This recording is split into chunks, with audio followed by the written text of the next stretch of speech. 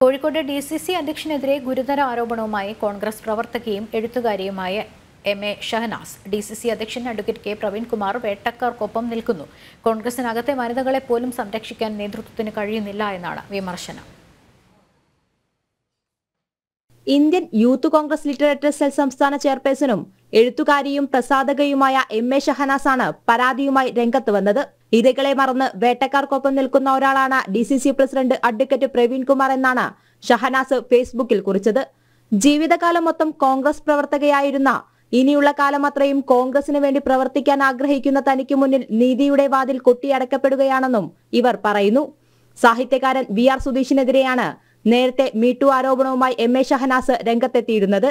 പ്രസാദക എന്ന നിലയിൽ V R സുധീഷുമായി നല്ല ബന്ധം പുലർത്തിയപ്പോൾ അദ്ദേഹം അത് മുതലെടുത്ത് പീഡിപ്പിക്കുവാൻ ശ്രമിച്ചുവെന്ന ആരോപണവും അടുത്തിടെയാണ് പുറത്തുവിട്ടത്.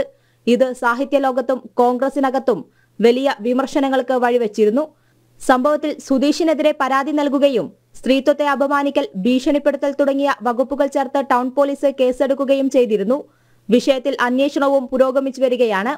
ഇതിനിടെയാണ് കഴിഞ്ഞ ദിവസം ഡി സി സിയുടെ ആഭിമുഖ്യത്തിൽ വൈക്കം സത്യാഗ്രഹ ജൂബിലി ആഘോഷങ്ങളുടെ ഭാഗമായി നടന്ന പരിപാടിയിൽ വി ആർ സുധീഷ് മുഖ്യാതിഥിയായി എത്തിയത്. കേസിൽ കെ പ്രവീൺകുമാർ ഒത്തുതീർപ്പിന് ശ്രമിച്ചെന്ന പരാമർശവും ഷഹനാസ് നടത്തുന്നുണ്ട്. ആത്മാഭിമാനം പണയം വെച്ച് ഒരു നേട്ടങ്ങൾക്കുമില്ലെന്നും കൂടുതൽ തെളിവുകൾ വരും ദിവസങ്ങളിൽ പുറത്തുവിടുമെന്നും പറഞ്ഞാണ് ഫേസ്ബുക്ക് പോസ്റ്റ് അവസാനിക്കുന്നത്. പാർട്ടിക്കകത്ത് യുവതികളെ സംരക്ഷിക്കാൻ കഴിയാത്ത നേതൃത്വം മറ്റു പാർട്ടിയിലെ സ്ത്രീകളുടെ സംരക്ഷണം ഏറ്റെടുക്കുന്നതിനെയും എം എ ഷഹനാസ് പരിഹസിച്ചു. ജനം കോഴിക്കോട്